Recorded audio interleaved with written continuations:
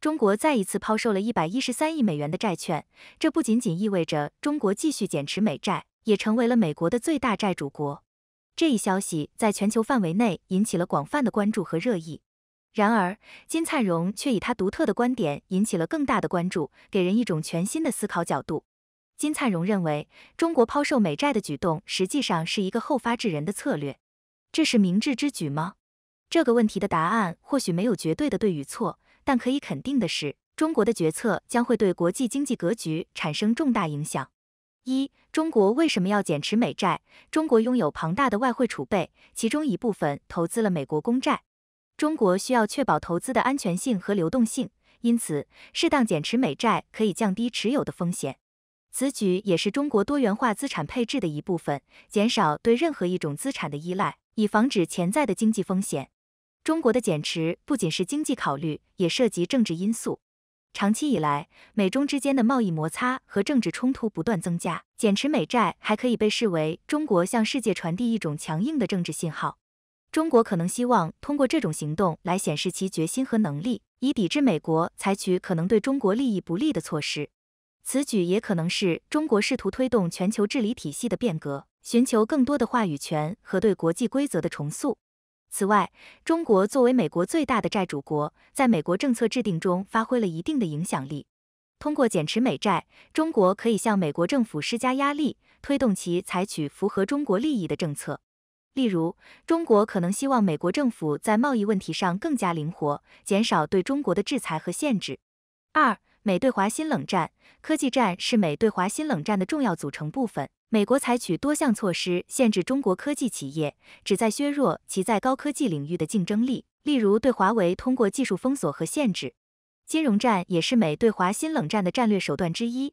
美国通过对中国企业和个人的金融制裁，试图削弱中国经济和金融体系的稳定性。生物战是指利用疫情等生物安全事件来对抗中国的战略手段。例如，此前的新冠疫情。美国就妄图在国际舆论上对中国进行抹黑，希望国际各国能够对中国提出批评和指责，想着通过这样方式能够削弱中国的国际形象。认知战是指通过媒体和宣传手段来影响公众对中国的认知和观念，通过发布一些虚假信息来塑造对于中国的威胁论。国际舆论战是美对华新冷战的一个重要方面。为了限制中国的影响力和地位，美国不遗余力地将对中国的批评和制裁纳入国际组织和多边机制。举例来说，美国在联合国、世界贸易组织等国际机构内不断向中国提出质疑和批评，旨在削弱中国在国际事务中的地位和影响力。三、中国策略。中国对美国的策略可以概括为八个字，分别是保持稳定、合作共赢。要知道，中国作为一个负责任的大国，一直以来都秉承着和平共处、相互尊重的原则，因此也希望避免新冷战的发生。中国之所以采取了后发制人的策略，既有所节制，又避免了主动挑衅。中国更倾向于观察和回应。中国希望通过克制和谨慎来避免不必要的冲突。这种策略既表明了中国愿意和美国和平共处、和平合作，但也绝不会主动迎合美国。而是会根据具体的局势来决定如何应对。在一些非核心利益问题上，中国可以做出一些让步，但绝不代表着中国惧怕美国，只是中国更加的灵活和务实，希望通过适当的让步来维护双方之间的关系。然而，在涉及到中国的核心利益问题上，中国将坚决还击和反制，以维护自身的战略利益。中国拥有坚定的立场和底线，当自身的核心利益受到威胁时。将主动采取行动来维护国家的安全和利益。金灿荣教授提出了中方应后发制人的观点，体现了中国在处理与美国关系时的灵活性和决策能力。和美国保持合作关系，必然对双方都有很大的好处。毕竟，中国有着巨大的市场和潜力，堪称世界第二大经济体。同时，中国也有能力通过多元化投资和贸易伙伴，减少对美国经济的依赖。你认为这场博弈，中国该不该进攻呢？美日韩戴维营峰会刚落幕，中国就给日本大礼，震撼国际格局。本月十八日，美韩日在戴维营如期召开峰会，而这场峰会没有我国参加，却处处有我国的身影。当然，这场峰会中明显表达了拜登方面对我国日益增长实力的担心，以及朝鲜面对核震慑时表现的团结。在谈及南海问题时，不掩饰表达我国行为存在危险和侵害行为，并插手提及岛内问题，并且发布了三份成果文件，并不代表美日韩正式形成三方联盟，但对于日韩而言，已经是大胆之举。毕竟在历史上，韩日关系并不和睦，敌意依旧还有。尽管在美国撮合下有了和解，但想要韩日取得更加实质性进展，或许还是比较困难。就像西方媒体所说，尽管我国作为日韩主要贸易伙伴，但面对美国的约束下，日韩领导人也表现出不同以往的强硬，不知其耻，宣称我国在南海支持非法海洋主权的威胁和挑衅，反对我国改变现在印太地区海域的现状。可以说，这是迄今为止三国在南海问题上发出的最强烈共同谴责。与其说是谴责，或许狼狈为奸更合适。美国打着国际法幌子，招摇撞骗，为维护自己统治，为所欲为，恬不知耻。尽管美国方面称戴维营峰会为美日韩的新时代，但在我看来，就是一群不知天高地厚的狂夫，在一所精神院开疗养会，口无遮拦，痴心妄想着未来。不可否认，美日韩加强了三国之间协调机制，表示当三国中任何一个国家出现危机时，其余国家将为之做出反应。这种做法无异于二战思维，就是在合适时机对某些国家发出挑战，并达到合法打压的目的。我们可以想一下，近期美要求朝放弃核武器，其实就是为了再次激起朝韩之间问题；而仁爱礁事件和岛内问题，就是借刀杀我国崛起之势。我们当然不是那么容易就被屈服。就在会议召开第二天，也就是十九日。中方宣布于九月十七日恢复北京到琉球那霸的航线，这无疑是给日本一个大大的惊喜。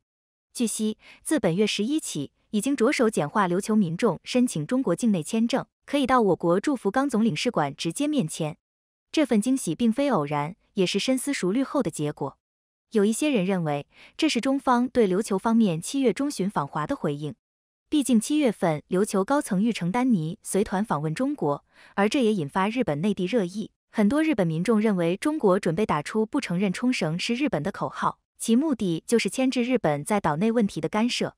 其实早在六月，我军原某部参谋长孙建国就表示，倘若我国用历史数据说明冲绳为中华文化圈，让琉球独立，日本方面又会作何感想？无疑，就如日本网友所言，宣战。但我们又会作何反击？艾跃进教授曾言：“我国想要崛起，就得灭掉日本。”这里所说的日本，并非国家层面的日本，而是崇尚武力和军事扩张的日本。尽管在上个世纪七十年代，中日选择建交，但日本方面从未对我国进行道歉，更没有对本国崇尚武力和军事扩张感到羞愧。到现在，依旧有人参拜供奉二战战犯的神社，崇尚武力和军事扩张依旧盛行，干涉我国内政。尽管现在日本在亚洲上有着重要的经济地位，倘若灭掉日本，会给我国在国际舆论和军事上都会带来冲击。